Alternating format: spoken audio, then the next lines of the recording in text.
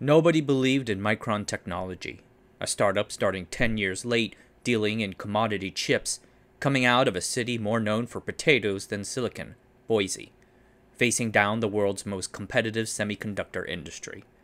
Somehow they beat those odds, so in this video we look at the memory underdog from Idaho, Micron Technology. This video is brought to you by the Asianometry Patreon. It's one of the better ways to support the channel. Early access members get to see the new videos first, and selected references too. Early access really helps a lot and I appreciate every pledge. Thank you, and on with the show. I have never mentioned Boise before on this channel. It's not exactly near Asia, so let me introduce it to you. Boise, the city, began in 1835 as a trading post called Fort Boise, set up by the Hudson Bay Company. The name's origin is uncertain. It grew into prominence during the American West's various gold rushes of the 1840s and 1860s supplying materials to miners. In 1864, it became the capital of the Idaho Territory. Idaho then became an American state in 1890. Idaho is particularly known for its potatoes. People were farming potatoes there as early as 1837, but the industry really sprouted in the 1950s after the newly established Idaho Potato Commission began marking their potatoes as being grown in Idaho. The harsh lands of Idaho gave rise to some of America's most extraordinary success stories, like the billionaire Jack R. Simplot, founder of the massive J.R. Simplot Company. Simplot started hustling for business at the age of 14 and slowly built a processed food business empire. That includes supplying half of McDonald's French fries, or chips if you want to call that, and these Boise lands will also give rise to another extraordinary success story, Micron. Identical twins Ward and Joe Parkinson grew up in a small town in Idaho called Blackfoot. Their father was a hardworking man who ran a one man insurance agency. The Parkinson family emphasized education, so they studied hard while working in potato fields owned by the J.R. Simplot Company. Both boys got good grades, won school debates and science fairs, so they were accepted to Columbia. Joe Parkinson, the more eloquent of the two, went into law and eventually returned to Boise to open his own law firm. Ward, on the other hand, took a different path. He dropped out of the Columbia pre med program and did an EE degree at Utah State, while also working as a farmer. After that, he joined the famed Fairchild Semiconductor, where he designed ECL logic and memory circuits. Fairchild was then going down the drain, but Ward distinguished himself, so much so that they offered to pay for his master's in computer architecture at Stanford. After he graduated, he was poached by his old boss at Fairchild to work at a company called Reticon, producing image sensors. Two years after that, he jumped again to Motorola, where he designed memories. It was the late 1970s, and it was becoming clear to everyone in the industry that metal oxide semiconductors, or MOS, was the future. Ward wanted to get more experience in that, so he jumped to the leading MOS memories company, Mostek. Mostek was founded in 1969 by a few Texas Instruments folks led by LJ Sevin. Sevin and his co founders were frustrated with their managers' conservative insistence on bipolar transistors over the high potential MOS as a challenger to magnetic core memories. The new Dallas company introduced a plethora of memory breakthroughs like ion implantation and address multiplexing. The latter let Mostek make more complex dynamic RAM modules without adding more pins and thus taking up valuable space on the board. Mostek quickly snagged the lead in world dynamic RAM market share, particularly with a brilliant 4K product called the MK4027, first introduced in 1976. And the strength of their design was what convinced Ward Parkinson to join. There he joined a design team he greatly respected. This included his manager, Dr. Paul Schroeder, who helped design the aforementioned MK4027 Dennis Wilson and Doug Pittman, in particular, were similarly great memory designers. But unexpectedly, in 1976, Mostek suffered a huge shock. One of its own co founders, Richard Petritz, left to start a competing semiconductor company backed with British government money called Inmos. Petritz hired over the aforementioned Paul Schroeder by giving him the deputy managing director title, Schroeder, in turn, convinced his colleagues Parkinson, Wilson, Pittman, and a fourth guy, Dave Wooten, to leave Mostek and join them at Inmos. They were not the first to leave. But for Mostek, it was the last straw. Infuriated, LJ Sevin filed a lawsuit against Inmos, hoping to get a permanent injunction against poaching. Doug Pittman and Ward Parkinson were personally included on this suit, which bombastically accused them of everything from stealing trade secrets to violating antitrust law by hoarding design talent. Inmos later handily won the suit, but did little to help the designers targeted by it. Probably should have, considering what happened next. In October 1978, the three designers ditched Inmos to start their own design consulting company, Micron Technology. The new Micron team called LJ Sevin, and this might sound strange, but Sevin quickly contracted them to design the next generation of memory chips for Mostek. But since the price was a bit low, Micron asked for the option to manufacture any design they made. Micron was then just three dudes without even an office, so Sevin gave it to them. They worked out of Dallas for the first year, but soon Pittman, who was from Idaho Falls, wanted to go home to the Northwest and raise his four kids. After looking at Montana and Utah, Boise was chosen because it had an airport, and Joe Parkinson had many business contacts there. Whilst on a scouting trip, Pittman scoured Boise for new space and found a half finished dentist's basement at half the normal rental price. A donation to the Catholic Church next door gave them free parking.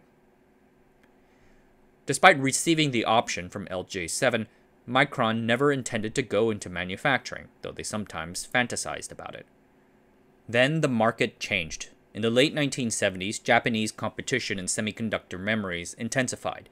Intel shipped the first 1K dynamic RAM in 1970, and in the next generation 4K, they and the Americans took 90% market share, while the Japanese grappled with new innovations like the aforementioned address multiplexing.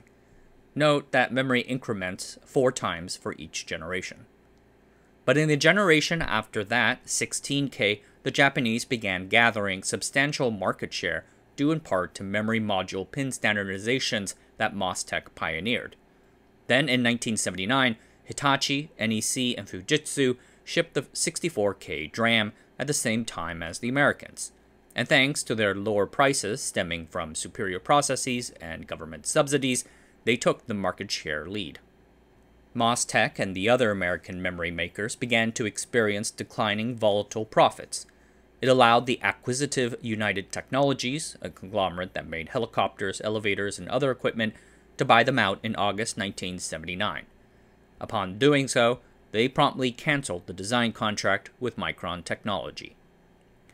Micron now had no customers and no source of revenue but they still had the 64K DRAM design, which they completed, and a few others.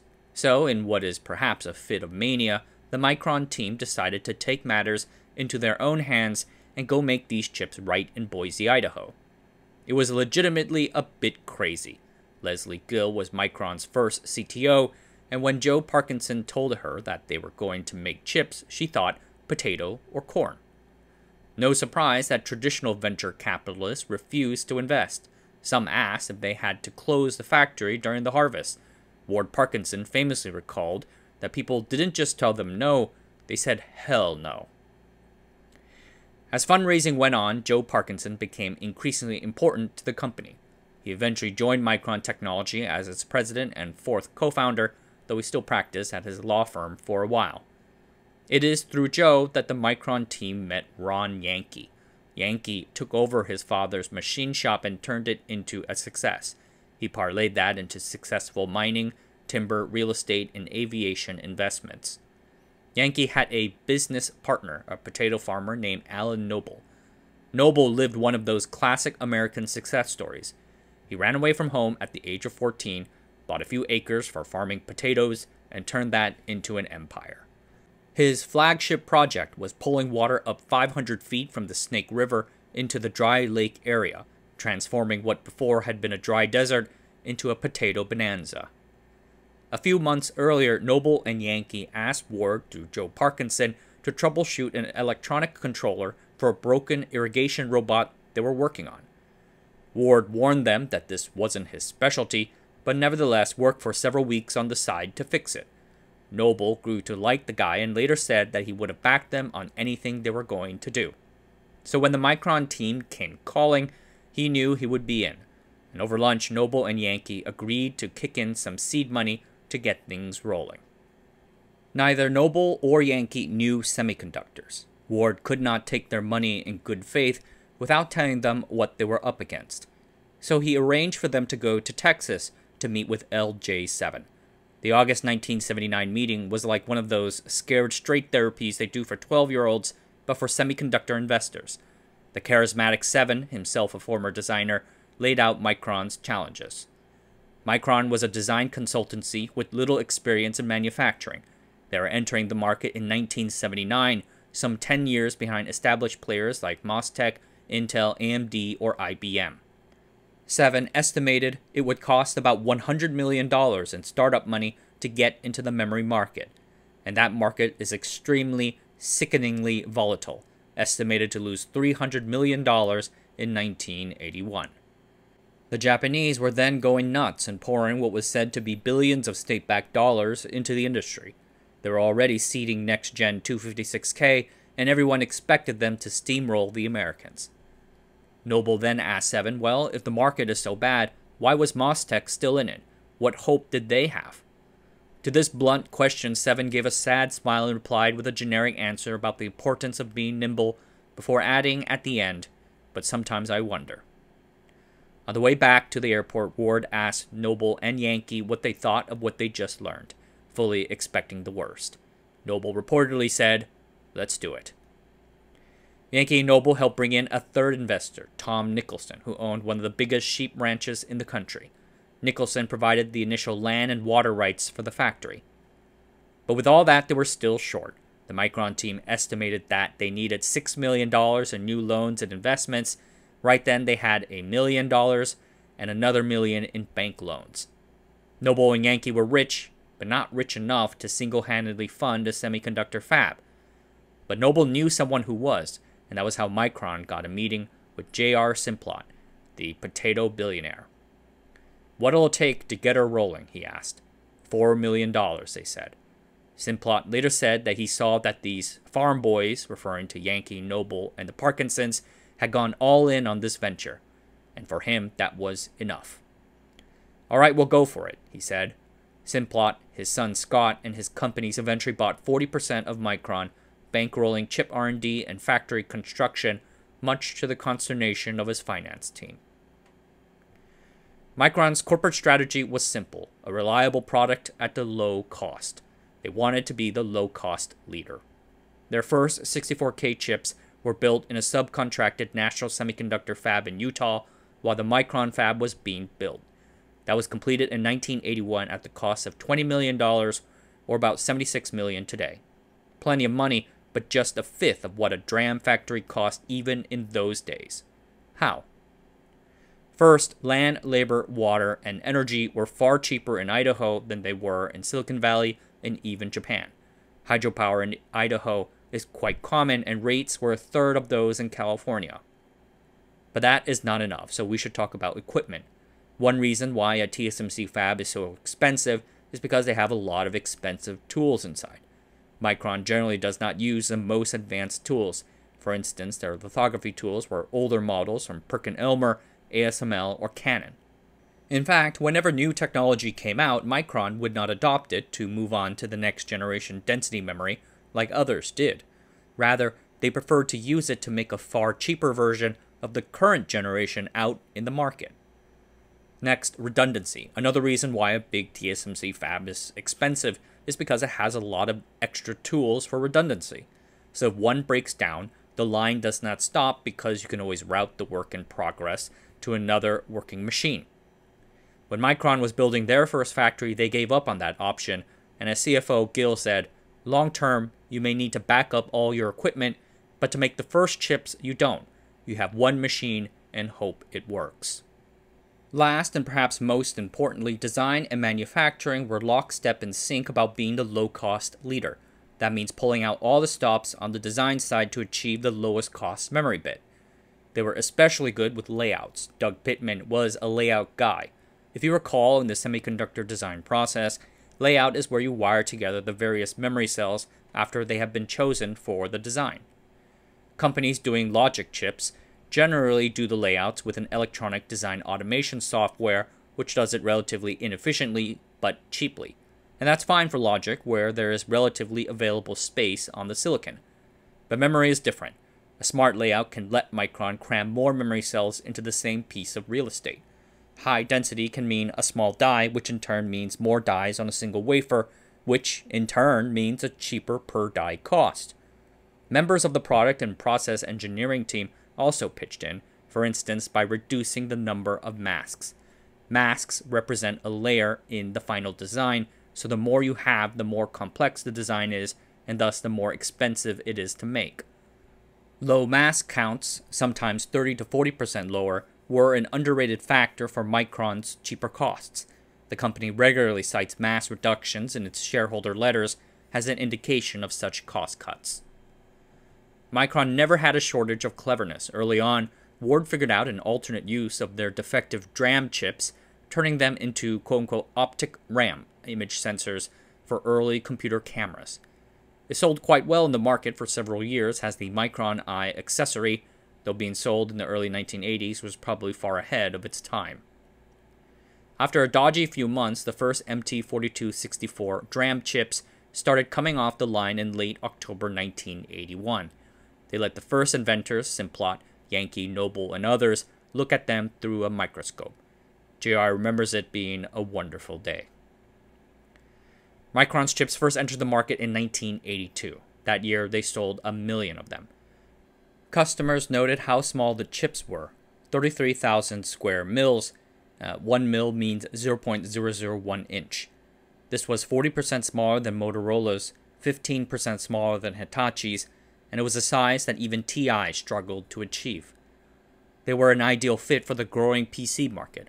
Apple bought them for their Macintosh and Lisa PCs, Jack Tramiel personally guaranteed millions in sales from his company, Commodore. Despite this and improving yields over 30%, the company was still losing money on each chip sold. It became clear that something drastic was needed. Fortunately, designers had deliberately made the chip bigger than it needed to be in case of manufacturing process variations. But Micron's second fab had better equipment and produced larger 5 inch wafers so the designers removed those tolerances, shrinking the die to a mere 22,000 square mils. This and the bigger wafers right sized the chip economics. Released in January 1983, the new smaller 64K MT4264 chip was an immediate hit. Sales surged from half a million in 1982 to 10.9 million. Net losses narrowed from 6.8 million to just 2.6 million and the backlog reached $23 million, so Micron immediately started hiring and expanding the factory. Thanks to continued good DRAM sales from the growing PC revolution, Micron's sales the next year, 1984, surged to $84 million, producing $29 million in profits, which they funneled into 256K development. That year, the company also went public, selling 2.1 million shares on the market. The stocks were offered at $14 and went to $40.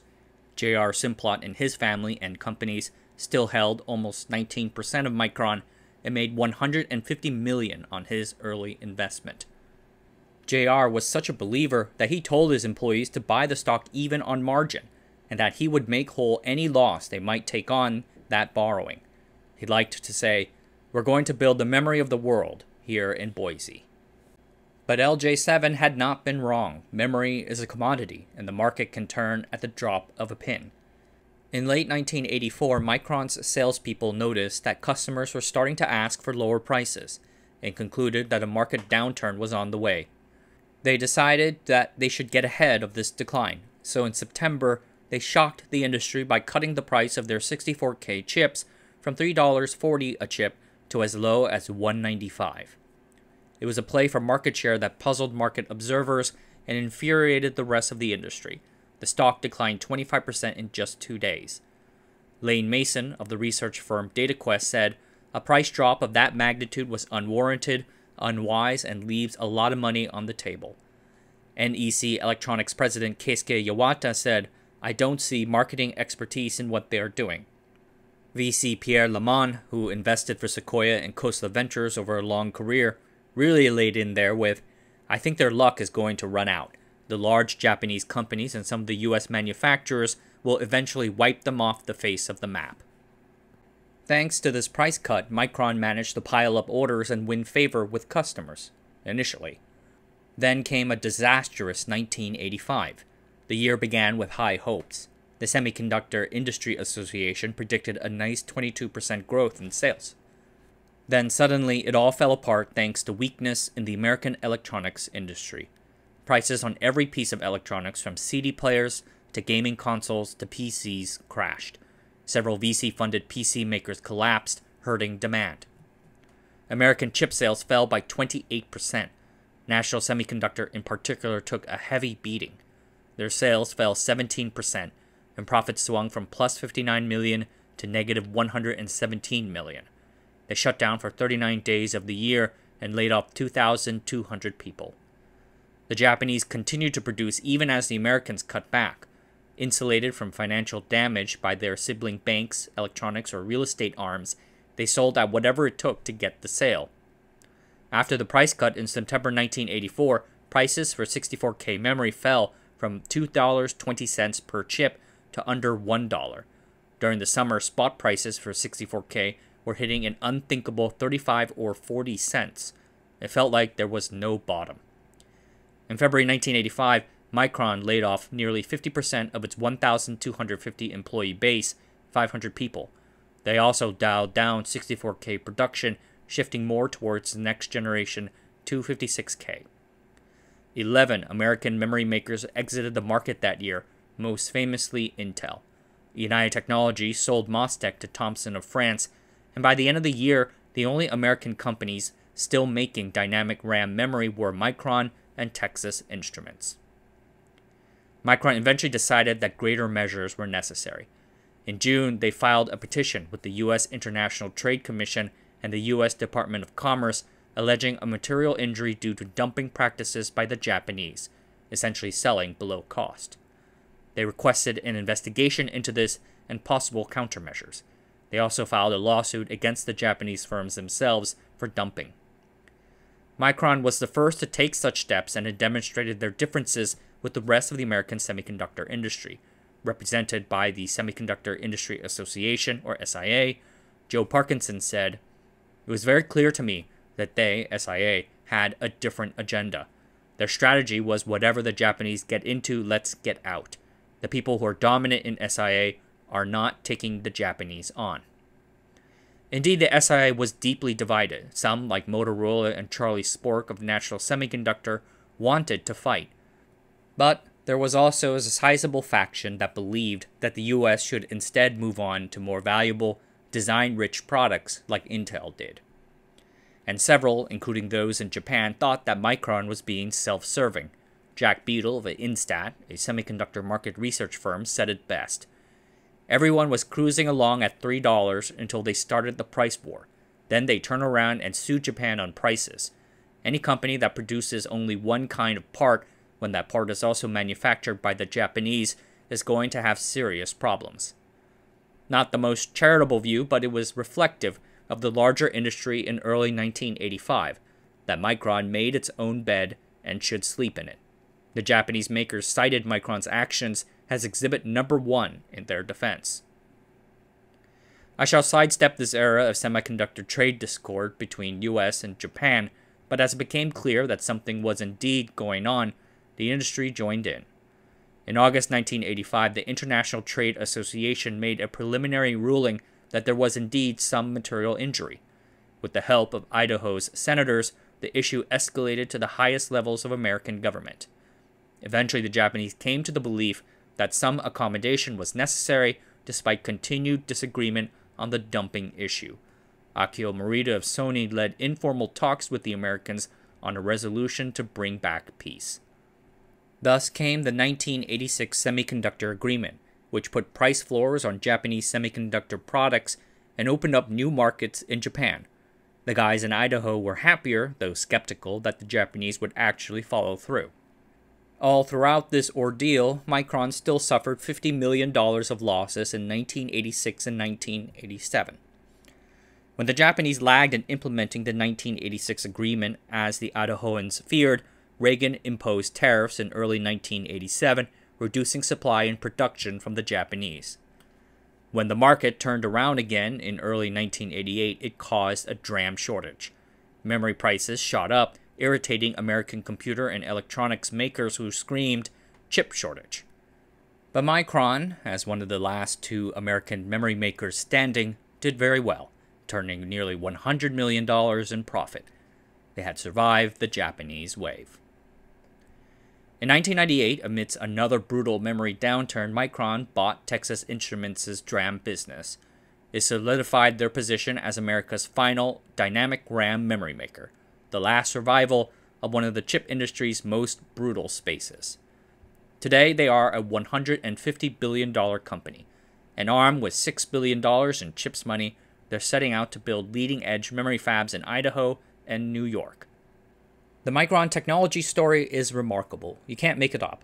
The way these guys started out, persisted, and eventually won the market through smart design, cost control, and sheer determination is a demonstration that semiconductor success is possible almost anywhere. Alright, everyone, that's it for tonight. Thanks for watching. Subscribe to the channel, sign up for the Patreon, and I'll see you guys next time.